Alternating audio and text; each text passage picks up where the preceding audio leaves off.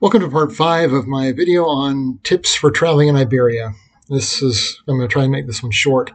Uh, if you want to save a lot of money uh, traveling in Spain, then uh, don't buy food in cafes. They have supermarkets, same as everyone else, and if you to spend any time, particularly if you have a smartphone, you can find a supermarket nearly everywhere. There's one right off of Las Ramblas in Barcelona, uh, between it and the main uh, transit hub, uh, just to the north um, and it's super convenient. In Madrid, there was one right across the street from where I was staying. Um, in Lisbon, there was one just halfway between myself, where I was staying in Rossi Plaza, just up the hill a little bit and tucked in. I'll talk about that one another time because that one was an interesting experience. And uh, let's see, Pamplona had to go the furthest out of my way, but it really wasn't out of my way because I just went over there and saw the Japanese botanical garden while I was on the on the way back. So it was kill two birds with one stone. Now, why do I think you should have a video on grocery stores in Spain. They work a little bit differently. Again, like most of your European grocery stores, if you don't have a bag, you have to buy one. So bring a bag, or in my case, uh, several times I just put stuff right in my backpack. They seemed shocked at that, like that had never dawned on them before. But anyway, the the biggest tip that you need to know, which shocked me and caused a little bit of grief, is the way they do their produce. Now you don't pick your own, and you don't weigh your own and you don't really even touch it.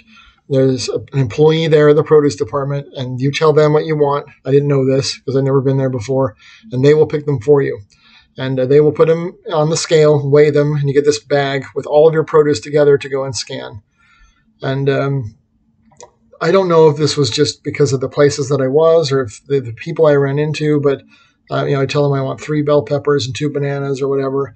And uh, one time, uh, the, the, guy was picking up bananas, trying to find some good ones, and said, "They're all bad, so I'm going to give you four and charge you for two.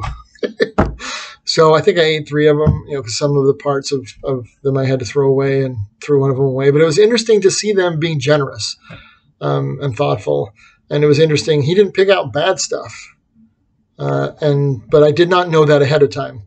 So the first time I went, so that's the first grocery store.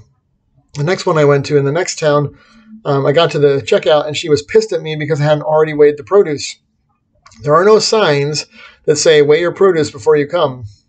Now, when you had to weigh your own, which is why I didn't know because I thought just thought I'd been to an upper muckety muck grocery store in Madrid, which doesn't make sense given the neighborhood I was in. But um, you need to weigh your produce before you come. They don't have a scale at the checkout stand, and you may not be allowed to touch it for yourself. So if you're going to go buy uh, unless it's in a prepackaged. They do a lot of, you know, pound of this, pound or sorry, kilo, half kilo of produce that's already pre-weighed, or they've weighed it and put a price on it, and you just grab it and go, which works for grapes and tomatoes and things. Um, you're gonna have to weigh your own and bring it with you, uh, already weighed to the check stand, or you'll get lit from the checker. And I don't know why. Do I look like I'm Spanish to you? Uh, every time I would talk, they would they knew as soon as I opened my mouth that I wasn't from there. uh, even though I spoke decent Spanish, uh, and uh, so they shouldn't have been surprised. But it that's something you should know if you're going to go there. You can save a ton of money. I ate for 10 euros a day making my own food. And then this one last anecdote because this is kind of funny. So I'm at the Cervantes statue and I sit down in the in the shade of this tree because it's the only part that isn't wet from the uh, water coming from up above. And I get out my baguette and I start I rip it open and start making sandwiches. And there's some Spaniards sitting there looking at me like, "Oh, that's a good idea."